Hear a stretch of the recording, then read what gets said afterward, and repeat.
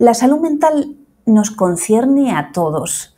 No es la ausencia de enfermedad, sino que es un estado en el cual conseguimos satisfacer nuestras necesidades y deseos, teniendo en cuenta la realidad donde están las demás personas.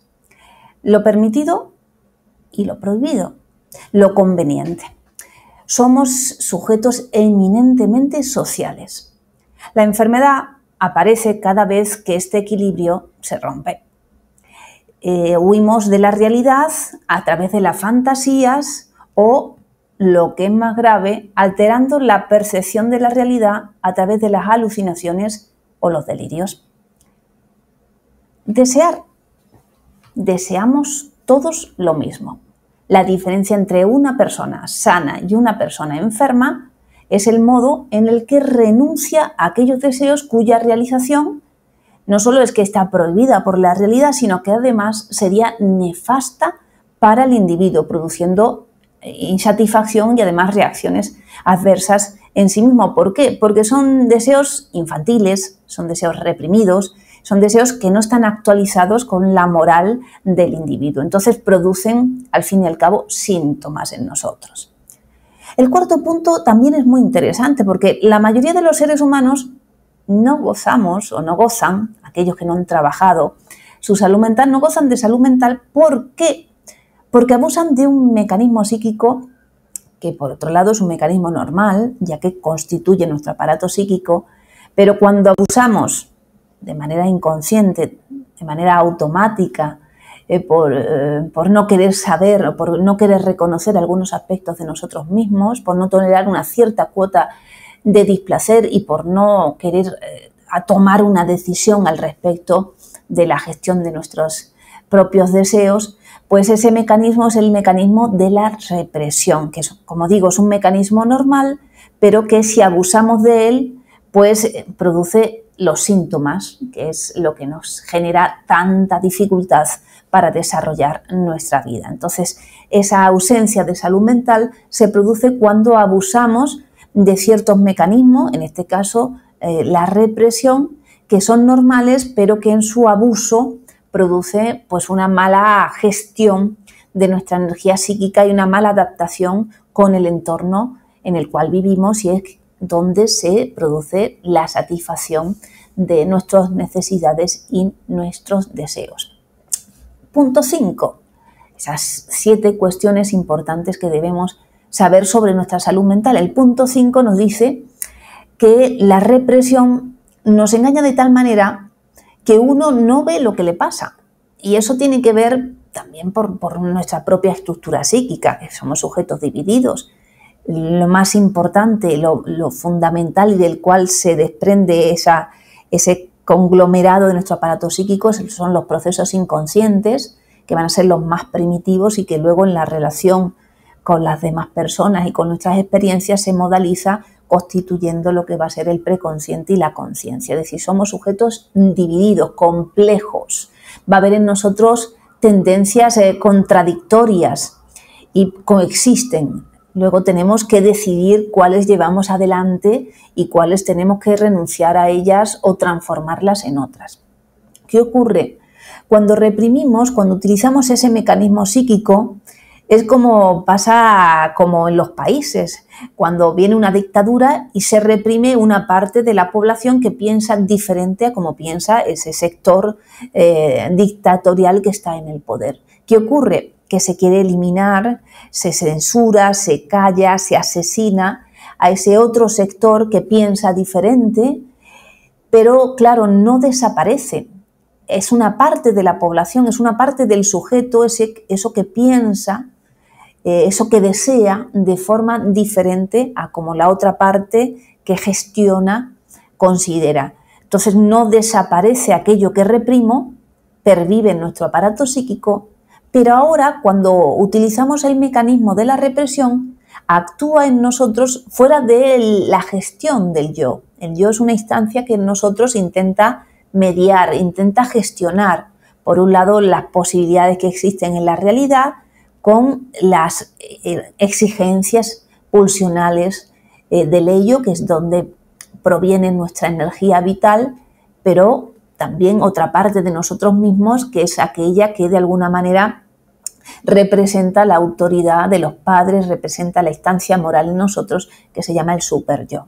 El yo es el que intenta mediar con estos tres amos y cuando reprime, cuando determina que, no puede buscar una, una solución que satisfaga a esos tres amos, reprime esas tendencias pulsionales del yo, pero no desaparecen, porque son parte de nosotros. Entonces esas tendencias ahora escapan a su control y producen lo que estamos diciendo que son los síntomas, esas manifestaciones incoherentes, no racionales, que eh, muestran una deformación del deseo inconsciente, eh, pero a la vez son una descarga, una manera de descargar esa energía que tiene que descargarse porque nuestro aparato psíquico requiere eso, ¿no? Esa, tolera hasta un quantum de energía y cuando se llega a ese nivel necesita la descarga.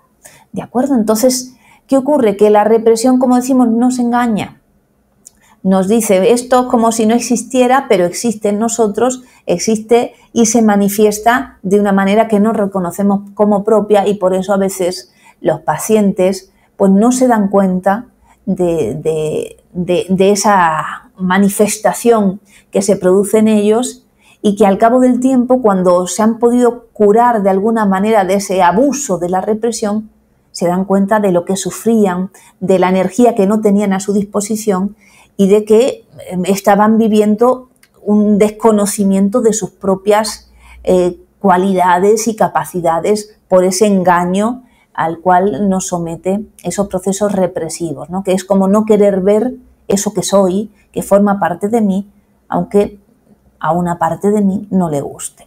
Entonces es interesante ese mecanismo del psicoanálisis que nos permite liberarnos de esos efectos de la represión.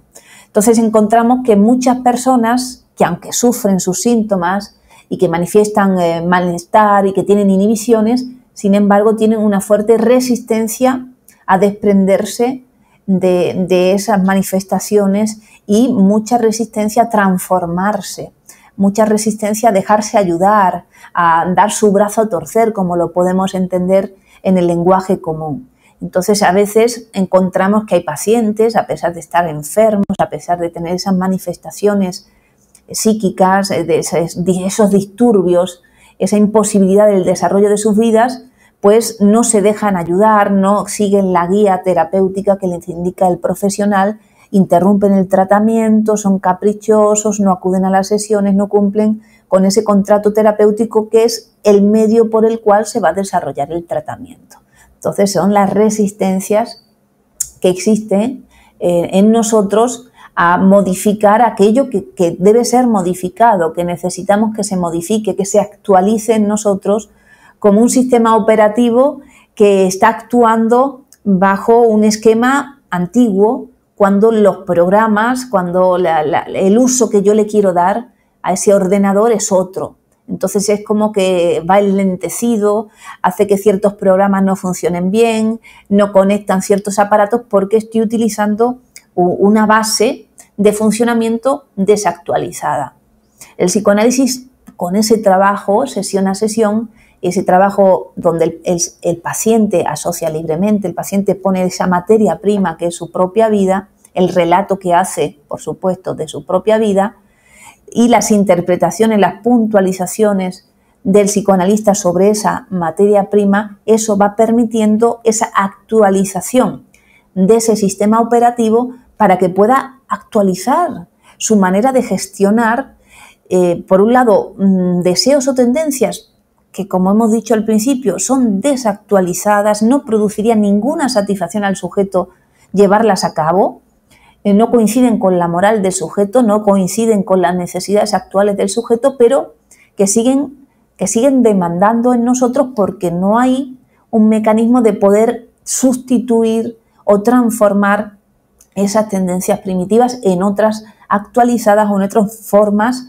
de, descarga de esa energía psíquica. Eso el psicoanálisis es ese instrumento que nos permite actualizar y por tanto liberar y permitir que, ese ordenador, que ese eh, psiquismo, que ese aparato que tenemos para funcionar, funcione adecuadamente y dé los resultados que nos permitan desarrollar nuestra vida. El sexto punto sobre la salud mental es que este mecanismo eh, de la represión explica que muchas personas utilizan sus síntomas como una satisfacción sustitutiva, es decir, que a pesar de, padecer esos síntomas, de sufrir, de decir que quieren desprenderse de ellos o de reconocer que son pensamientos o comportamientos eh, que les parecen ilógicos, no pueden desprenderse de ellos porque les sirven eh, de alguna manera para conseguir otras cosas, es decir, para maltratar a ciertas personas, para mm, no tener que cumplir con ciertas obligaciones como todos los adultos tenemos que cumplir, es decir, como para escabullirse de aquello en lo cual te toca, te toca hacer frente. Y el neurótico, eh, esa persona que abusa de ese mecanismo de la represión, pues eh, no puede, no puede, es como que se escabulle mediante ese mecanismo en lugar de afrontar y gestionar, por un lado, sus tendencias inconscientes, esa energía inconsciente que no tiene en cuenta la realidad, pero que hay una parte de nosotros que tiene que unirla con la realidad y ver cuándo es conveniente o cómo es eh, que puedo expresar esa tendencia o cómo la tengo que transformar para que no me dañe. Entonces es muy interesante porque aunque eso le desagrada, esa persona que lo padece vive totalmente engañada y colabora para que exista. Entonces, por eso es tan sutil y podríamos decir tan artesanal, es decir, paso a paso, ese proceso terapéutico del psicoanálisis en el cual nos encontramos con un paciente, con una persona que quiere transformarse, que quiere curarse, que quiere liberarse, que quiere actualizar su sistema operativo y a la vez no quiere transformarse, no quiere curarse, no quiere actualizarse porque está muy identificado con, ese uso, con esa manera de responder a pesar de que es como si tuviera una losa encima.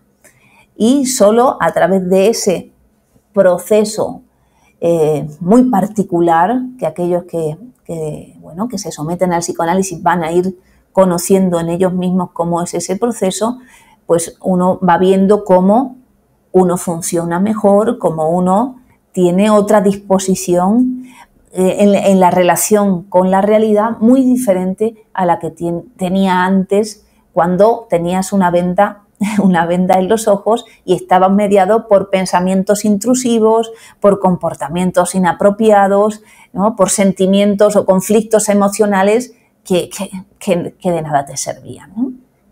Entonces, muy interesante esa, esa cuestión, esos consejos que estamos viendo. Entonces, el psicoanálisis nos ayuda, nos libera, pero solo aquellas personas que quieren ser ayudadas o que se quieren ayudar a sí mismas, que quieren liberarse, que quieren transformarse. Y el séptimo punto del vídeo de hoy es que lo que reprimimos, como hemos dicho antes, no desaparece. Entonces no nos vamos a engañar. Eh, no, nos salvamos de nuestra esencia. Eh, a lo largo de toda nuestra vida el trabajo va a ser permanente para que esas tendencias infantiles que siempre van a estar ahí, pues eh, no, no insistan con, su deseo de expresarse de esa manera tosca, inapropiada o inadaptada. Cada vez hay que hacer ese trabajo de eh, renunciar a eso que no me conviene para tomar el camino de lo que me conviene. Porque es interesante que el psicoanálisis nos muestra que el deseo inconsciente no está unido a ningún objeto determinado, no tiene que ser su satisfacción de esta manera determinada sino que lo que el deseo inconsciente necesita es expresarse, transformarse. Y por eso el psicoanálisis nos enseña a poner nuestra energía psíquica en ese proceso de descarga, en lugar de en ese circuito vicioso en el que estamos, en otros circuitos que sean sociales, que sean eh, entre otros y que permitan esa descarga y esa satisfacción. Entonces es como encontrar una autopista en la cual uno puede circular y en la cual hay reglas de circulación y simplemente hay que respetarlas. Así que, vídeo de hoy, consejo para la salud mental, darnos cuenta de que nos engañamos a nosotros mismos cuando nos escuchamos demasiado, cuando estamos en esa trampa de la represión, de no querer reconocer ciertas cosas en nosotros, de echarle el balón a los de fuera o pensar que el psicoanalista me tiene que salvar o curar o me tiene que decir pe o pa o pi para solucionar la cuestión y no darnos cuenta de que cada uno tiene que hacer un trabajo para, primero, para poder expresar lo que le pasa y segundo, para poder modificar esos comportamientos, esos modos eh, de respuesta que no sirven, que no sirven y que a lo largo del proceso nos van a ir indicando cómo podemos gestionar esa energía psíquica de manera diferente. Nos vemos en el próximo vídeo. Chao amigos.